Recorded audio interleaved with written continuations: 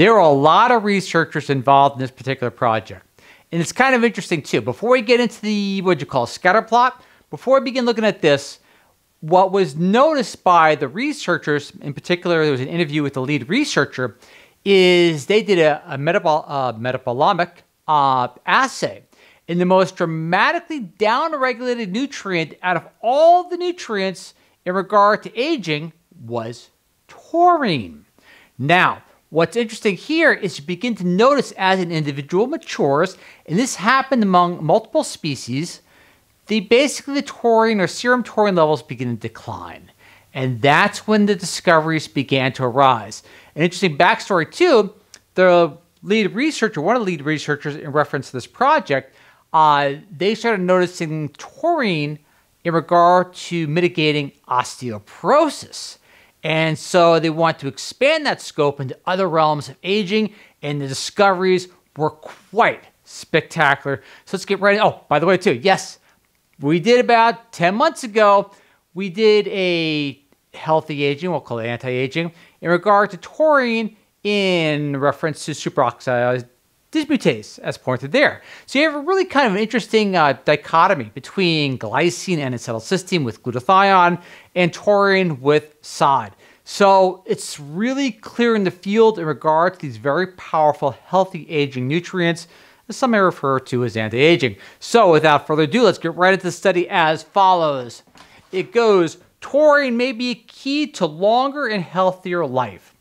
Taurine first came to I don't want to mispronounce the name of the researcher, view during his previous research into osteoporosis, as we're reiterating. That uncovered taurine's role in building bone around the same time. Other researchers will find that taurine levels correlated with immune function, obesity, and nervous system function, i.e., for example, the research from 10 months ago that we just highlighted.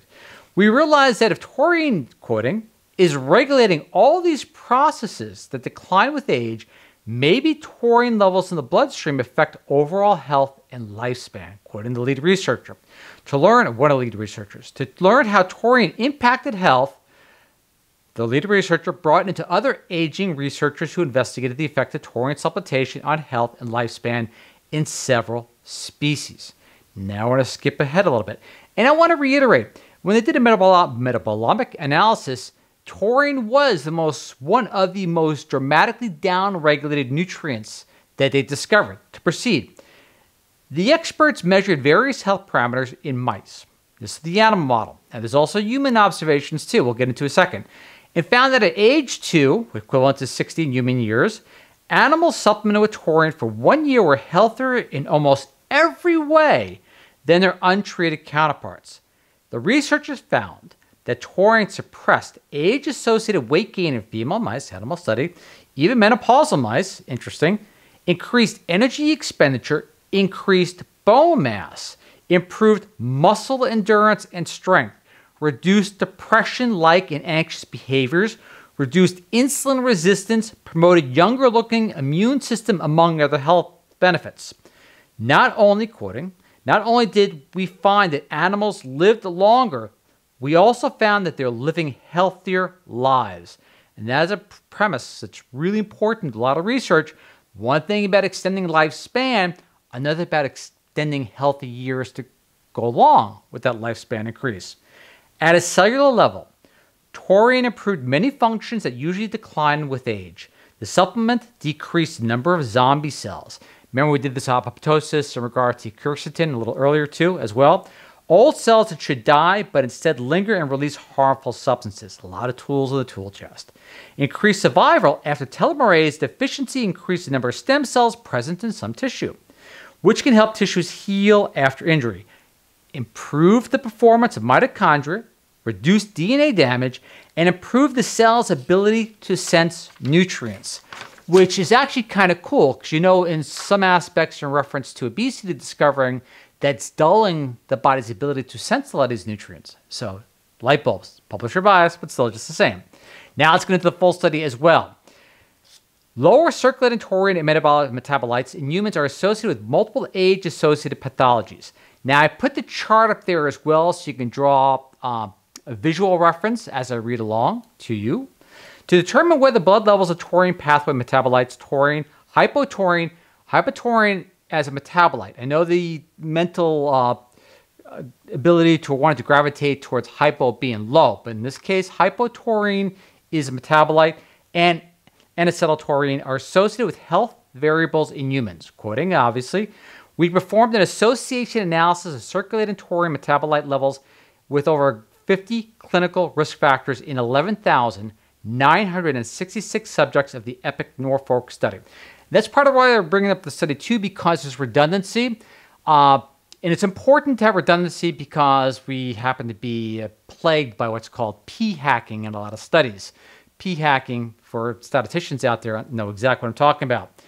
We found that higher blood taurine and hypotaurine, taurine, taurine, hypotaurine levels were associated with lower body mass index, BMI, and waist to hip ratio, as well as less abdominal obesity. Hence the figures. As figure, no pun intended. Higher levels of taurine metabolites were associated with lower prevalence of type 2 diabetes and lower glucose levels.